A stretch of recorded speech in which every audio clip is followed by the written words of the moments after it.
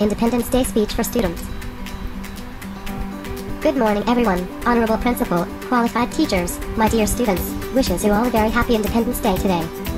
Respected sir, as we all know that we have gathered here to celebrate the 73rd Independence Day of our beloved India.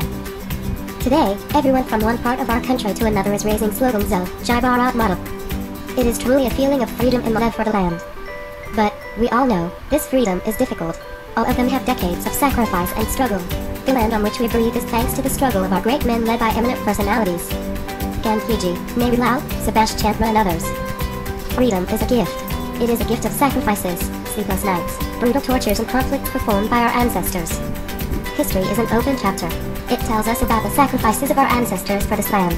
This freedom is due to the struggles of Bapu Mahatma Gandhi. He stood like a rock for the rights of the people. He was jailed several times. He faced many difficulties, yet he backed down. The credit for this freedom goes to our great leader Pandit Nehru Lal. He never compromised the rights of the people. He renounced each and everything and supported the cause of freedom. And this freedom is due to the sacrifices of our other leaders Bal Gangadhar Tilak, Lala Lajpat Bhagat Singh, Khudiram Bose, and Chandrasekhar Azad. Respected friends. In British India, we were all in chains. Our rights were compromised. We felt suffocated. Our social, political, and economic situation was very bad. And in the end, it was not an honor for Indians to be in slavery to foreign forces. Slavery is a curse. You can see it around the world. What is the status of nations that are still slaves today? We should be grateful to our leaders who realized this. Respected sir, all of us are gathered here today just to raise slogans and perform formalities. Our land needs more than us.